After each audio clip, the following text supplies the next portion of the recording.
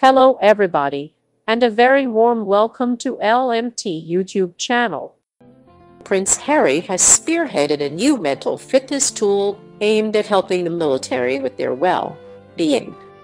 Former soldier Harry appears in a video on headfit.org, which has been designed to offer round-the-clock access to self-help tools to enhance mood, drive, and confidence. Today when we talk about fitness, we don't just mean how fast you can run or how much weight you can carry. This is about mental fitness, strength and resilience, not just while wearing the uniform, but for the rest of your life. If you want to be truly fit, strong and healthy, you need to train your mind and body as one. Some people run, others swim, cycle or lift weights in order to be physically fit. But what do you do to stay mentally fit? Think about what you could do to unlock your potential and to perform at the highest level.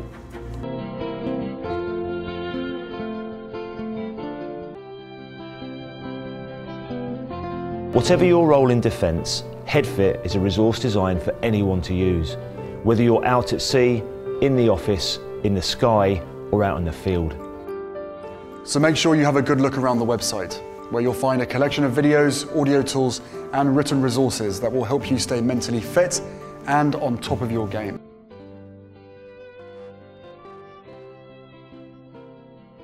HeadFit is an asset to improve your drive, confidence, mood, and ability to de-stress at work and at home.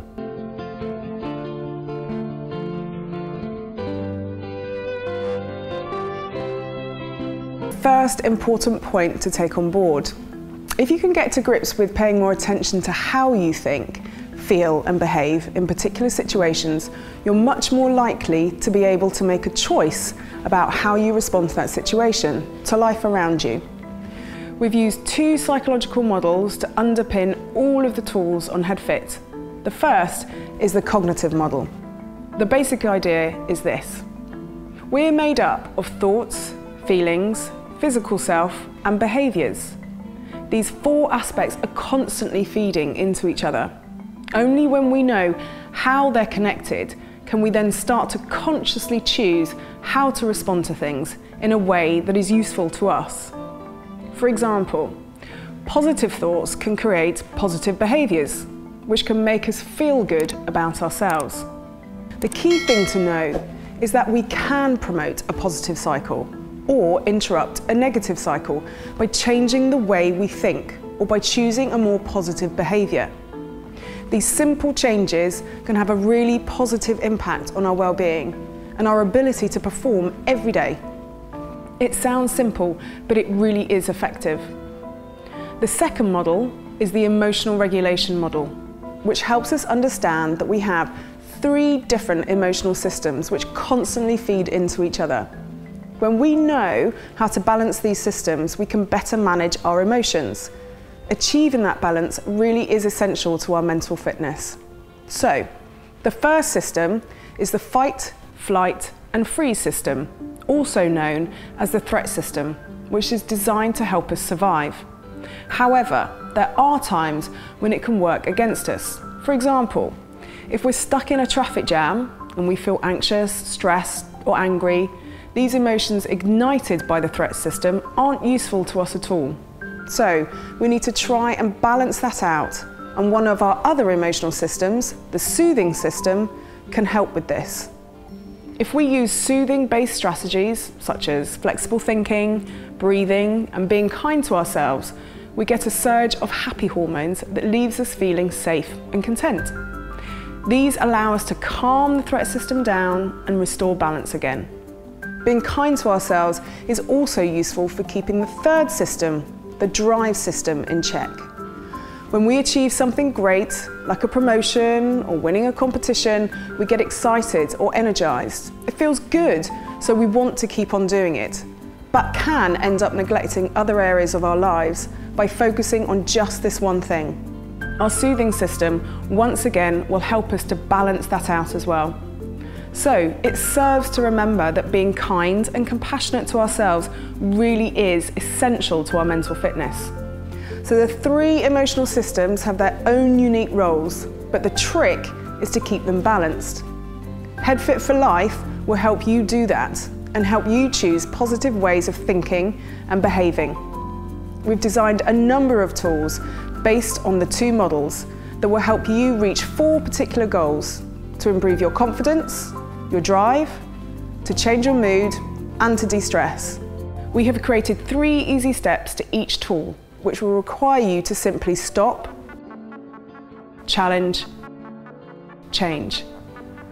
Stop means take yourself off autopilot. Take a moment to check in with yourself and how you are responding to things. How are you behaving and what are you thinking? Then challenge your thinking and your behaviour. Are they actually helping you or do you need to make some changes? If you don't think the way you are thinking or behaving is resulting in a positive outcome for you, then take this opportunity to make a change. Choose a goal, choose a tool, and help yourself feel better, happier, and ultimately more effective in your life.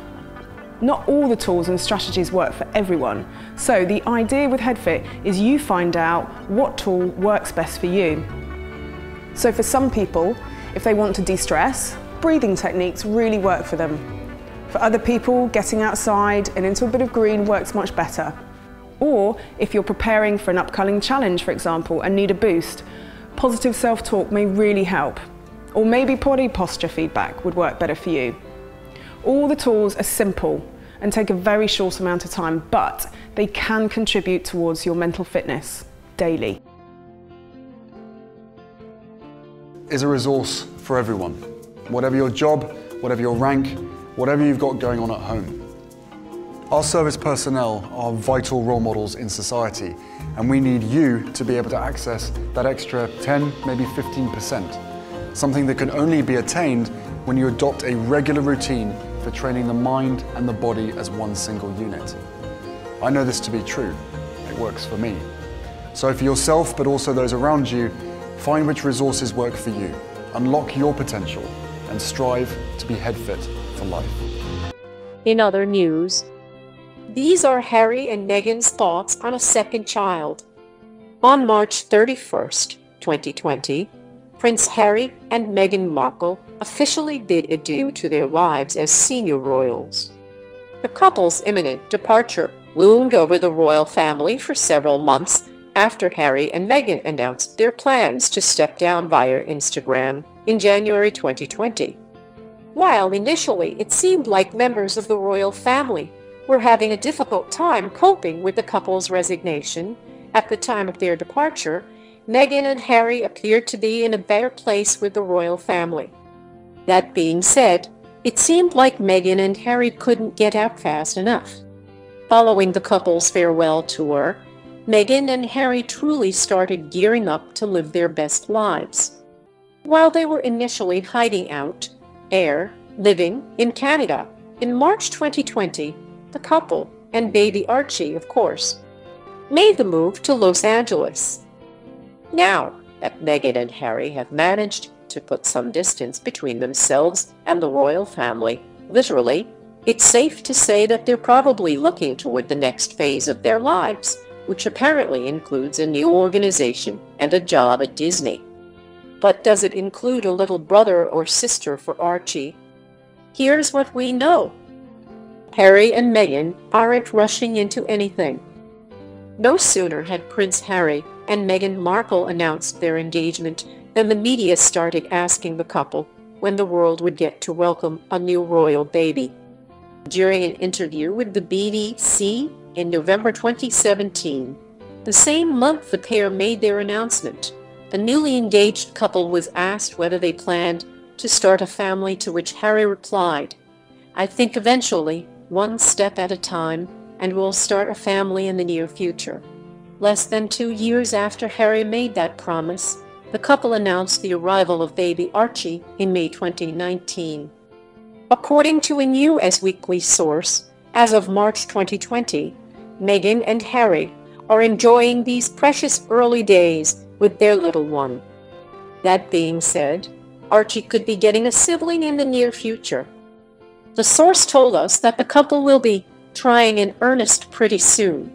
However, for the time being, they just want to get firmly settled into their new surroundings first and give Archie as much attention as they can. While Meghan and Harry are reportedly committed to giving Archie a brother or sister, the source noted that they don't want to put too much pressure on the situation. So there you have it.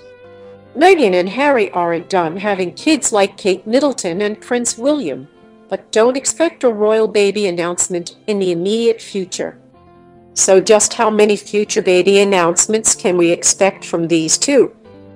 How many kids do Meghan and Harry want?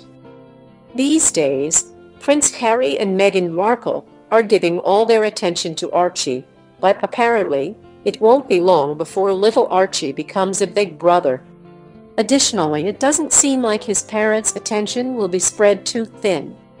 In a 2019 interview with his good friend, conservationist Jane Goodall, that just so happened to appear in Meghan's desk, edited British Vogue September issue, Harry revealed just how many kids he and Meghan want. Two, maximum. While big brother Prince William has three children, Harry wouldn't be the only royal who opted to stop at two. Harry's father, Prince Charles, obviously has two kids.